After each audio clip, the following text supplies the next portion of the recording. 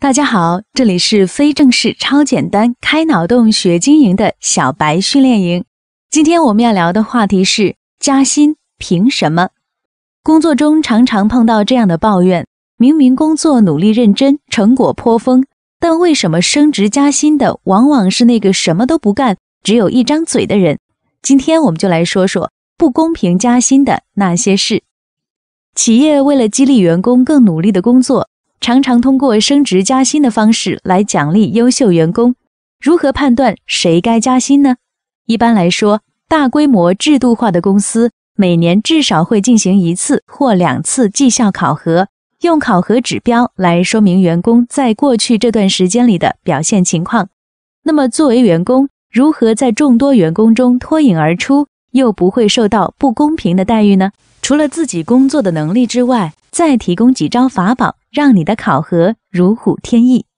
第一招，绩效考核表不是写作文，是立马解题。绩效考核资料千万不要写做过的事，应该写做到的事。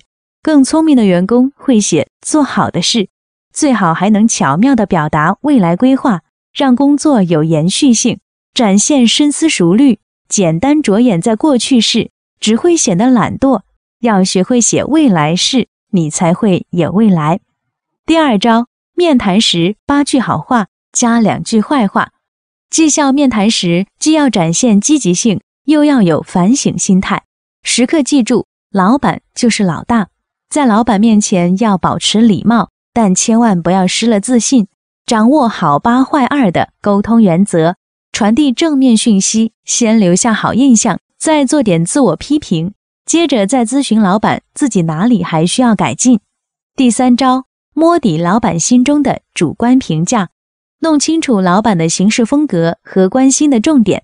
绩效考核要考虑的因素很多，企业为了公平性和一致性，都有些绝对值衡量，比如达标率、利润率等等，这些都很重要。但更重要的是潜在老板心中的主观评价。记住以上三招。再加上 KPI 指标的支撑，愿你在职场上可以平步青云。今天的内容到这里就结束了，下期见。